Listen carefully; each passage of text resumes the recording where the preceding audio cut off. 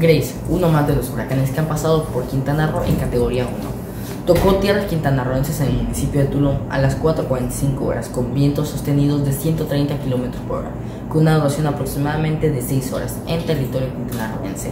En Tulum, hasta las 20 horas se presentaban ráfagas de aire y lloviznas, pero ya trabajaba en limpieza de la zona costera. En Puerto Morelos no hay daños mayores.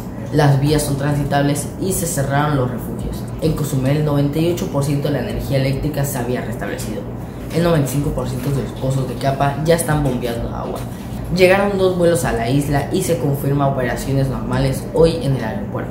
En solidaridad no hay afectaciones mayores, solamente árboles y ramas caídas, la zona de los chunes en Felipe Carrillo Puerto no tiene afectaciones. En el tramo de la carretera entre Tulum Cancún, Fonatur reportó señalamientos caídos que ya fueron retirados y está transitable.